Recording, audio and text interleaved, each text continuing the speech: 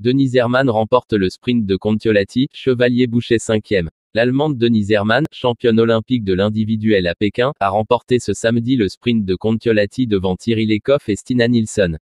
La première française, Anaïs Chevalier-Boucher termine cinquième. Vainqueur presque surprise de l'individuel des Jeux Olympiques de Pékin, tant elle était irrégulière depuis le début de saison, Denise Hermann a confirmé sa bonne forme ce samedi lors du sprint de la Coupe du Monde de Contiolati. Ex-fondeuse et championne olympique du sprint classique en 2018, Nilsson décroche à 28 ans son premier podium en biathlon, après une reconversion débutée au début de la saison 2020 à 2021. Ce samedi, elle a d'ailleurs signé le meilleur temps sur les spatules. D'ailleurs, en ce jour où la star du fond Thérèse Joag a tiré sa révérence, les ex-fondeuses étaient à l'honneur en biathlon puisque Denise Hermann est également une transfuge du ski de fond. 17 biathlètes à moins d'une minute d'Hermann, la poursuite de dimanche sera serrée.